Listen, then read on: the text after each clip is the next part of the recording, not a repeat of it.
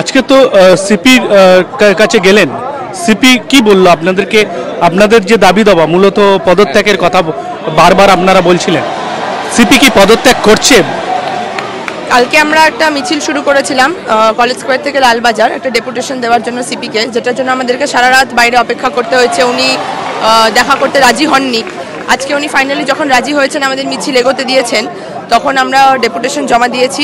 আমাদের ডেপুটেশনে যেই তিনটে ঘটনার জন্য ওনাকে দায়বদ্ধতা নেওয়ার কথা আমরা বলেছিলাম, উনি সেটা নিয়েছেন এবং কোনো সদুত্তর দিতে পারেননি কেন ওনারা অ্যাজ এ সিস্টেম ফেল করেছেন। আমরা ডেপুটেশন জমা দেওয়ার, উনি গ্রেসফুলি ডেপুটেশন অ্যাকসেপ্ট করেছেন। তারপর উনি বলেছেন ওনাকে যদি ট্রান্সফার করা হয়, উনি সেটা অ্যাকসেপ্ট করে নেবেন এবং আপার অফিসিয়ালসরা যদি ডিসাইড করে যে ওনাকে রেজিগনেশন করানো উচিত, তাহলে উনি নিশ্চয়ই রেজিগনেশন করবেন। আরেকটি জিনিস আপনারা বারংবার বলছিলেন যে তথ্য প্রমাণ লোপাট করার মূল হোতা হলেন এই সিপি কার্যত আপনারা বারবার এইটা প্রশ্নটা উল্লেখ করছিলেন। সেই জায়গায় দাঁড়িয়ে আজকের সিপির ভূমিকাটা কেমন দেখলেন? সিপির মোটিভটা কি দেখলেন? বারো তারিখে যে আমাদের সেমিনার রুমের পাশে কনস্ট্রাকশন ওয়ার্ক শুরু হয়, সেটার বিষয়ে আমরা ওনাকে প্রশ্ন করি। উনি তখন উত্তর দেন যে ওনার কাছে কোনো ইনফরমেশন ছিল না যে এই কনস্ট্রাকশন ওয়ার্ক শুরু হবে। এবং তারপরে উনি বলেন যে অন ডিউটি যে অফিসাররা ছিল যে ক্রাইম সিন প্রোটেক্ট করার জন্য তারা ওনাদেরকে কন্ট্যাক্ট করেনি, তাই নাকি ওনাদেরকে সাসপেন্ড করা হয়েছে? এখানে আমরা মনে করি যে নিচের অফিসারদেরকে ওনারা বলি দিয়ে নিজের গা বাঁচানোর চেষ্টা করছেন। সেটা আমাদের মনে হয়, কিন্তু কোনোরকম সদুত্তর এটা ওনার থেকে আমরা পাইনি। স্যাটিসফ্যাক্টরি কোনো আনসার আমরা পাইনি।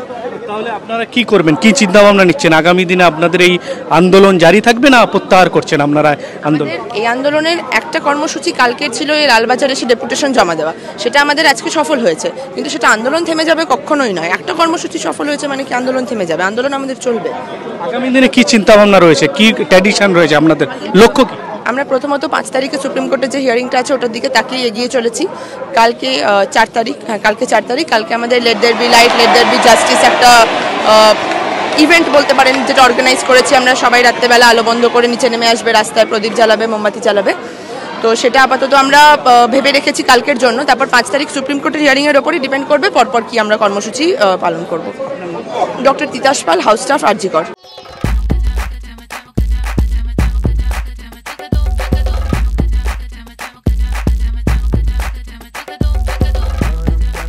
Home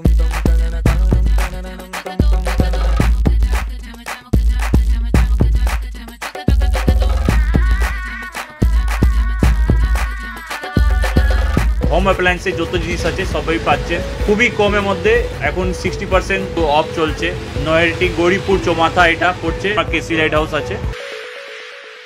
ট্রেডিশনাল হোক বা ট্রেন্ডি নারী পুজো মানে প্রিয় গোপাল বিষয়ী কলকাতায় আর জেলায় জেলায়